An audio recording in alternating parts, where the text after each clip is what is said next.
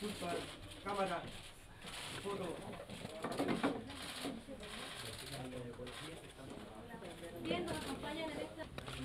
Todos muy buenas tardes. En el día de ayer hemos recibido una... Y hace un llamado a todos, por eso es una carta a todo el pueblo de Dios, a que superemos la cultura del abuso y del encubrimiento. Ya no solamente el Papa dice que pueden haber habido algunos momentos, algunas cosas, sino que puede haber sido generando una cultura del abuso y el encubrimiento Ya un proceso de escucha, se entrevistaron con víctimas, con personas que habían acompañado a las víctimas. ha sido una de las principales faltas y omisión el no saber escuchar.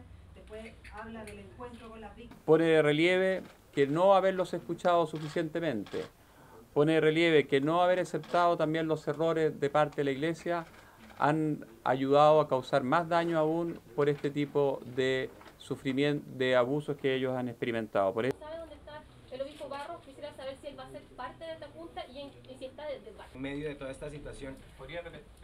entre las propuestas que ustedes eh, es parte del mea culpa el que quizás, y más que quizás, ciertamente, no se actuó con la celeridad para investigar, para responder y sancionar a quienes correspondían. Eso de que se está haciendo eh, y que tenemos, tenemos un poco más, eh, o no debieron eh, esperar que el obispo Barros que ya se concluye el periodo de escucha y ahora viene el periodo de empezar a tomar algunas medidas.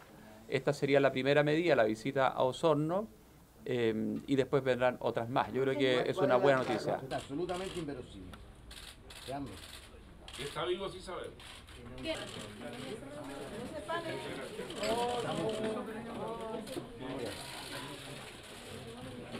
Bien. Gráfico.